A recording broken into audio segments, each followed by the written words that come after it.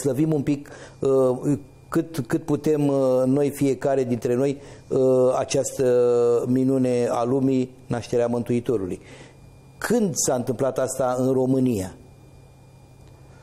Ce anume Când a venit sărbătoarea asta legată Crăciunul cu nașterea Mântuitorului? Deci nu se știe exact, dar cu siguranță putem spune că este foarte, foarte veche.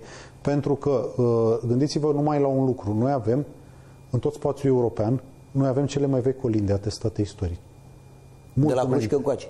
Cele mai vechi colinde de la primii coloniști romani care au venit pe teritoriul Daciei și au introdus creștinismul. Deci cam de atunci noi avem colinde iarna care îl slăvesc pe Hristos, care marchează momentul nașterii sale și care cumva uh, s-au suprapus pe, pe sărbătorile mai vechi precreștine păgân este un cuvânt urât, nu l-aș folosi aici, pentru că păgânii noștri s-au creștinat foarte repede, dacă este să vorbim despre strămoșii uh, geți, daci Au avut și romani. interes. E o discuție, e o discuție care merită o emisiune în sine. Aceasta. Da, de ce sigur. s-au creștinat daci și cum s-a întâmplat acest lucru, mai ales că e un moment uh, istoric în care m, și istori, istoricii au prea puține date pentru a oferi uh, răspunsuri clare, mai mult ipoteze și păreri. Dar, Păi, o părere, ca să nu lăsăm uh, telespectatorii așa cu un iz de ăsta de nedumerire, cum s-au creștinat?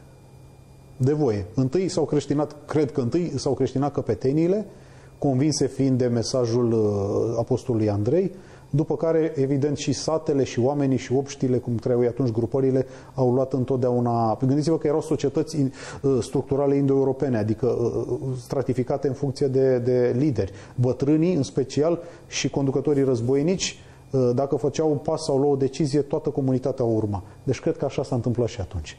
Nu sunt foarte sigur, vă dați seama, nu avem înregistrări din, din acea perioadă, nu avem înscrisuri, nu avem cronici, e o perioadă mult prea veche, dar cred că așa s-a întâmplat. Și atunci, în perioada aia, a făcut și trecerea, adică s-au sărbătorit împreună uh, nașterea Mântuitorului, bineînțeles și, și cu... închiderea, uh, arderea, arderea rituală a zeului celui vechi.